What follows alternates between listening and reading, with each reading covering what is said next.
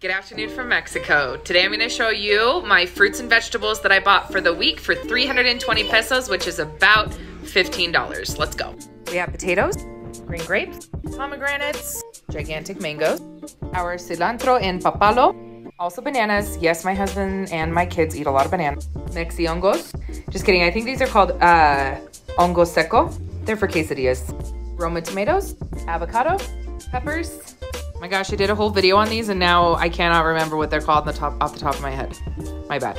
Two pineapples, Mexican squash, tomatillos, of course jalapenos, white onions, cucumbers, limes, and carrots. Also a little watermelon. Our vegetable lady also gave us some vegetables for caldo and huitlacoche.